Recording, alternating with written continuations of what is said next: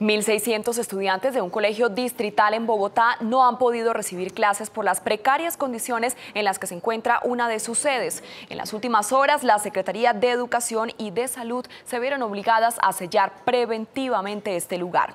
Hoy los estudiantes salieron a protestar exigiendo su derecho a la educación.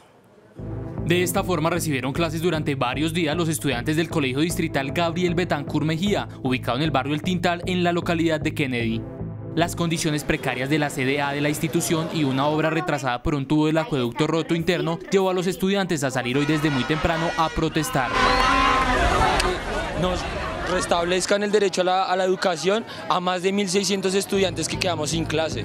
Mandaron unas maquinarias, nos destruyeron el colegio y estamos perjudicados porque tenemos niños estudiantes en silla de ruedas con discapacidad y aquí como si nada. La Secretaría de Educación y de Salud adelantaron en las últimas horas un sellamiento preventivo en esta sede por las condiciones en las que se encuentra, por lo que los estudiantes tendrían que ser reubicados. Tendremos todo eh, de nuestra parte para que podamos reubicarlos en instituciones educativas distritales de la localidad, porque esta es nuestra obligación y ese sería nuestro objetivo. Los cerca de 1.600 menores que desde hoy no pueden recibir clases hicieron graves denuncias.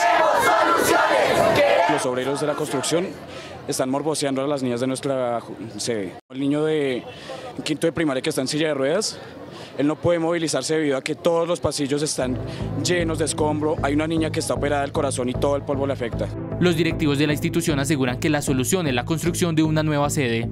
La Secretaría en este mes de septiembre está licitando los estudios para el diseño y construcción del nuevo colegio.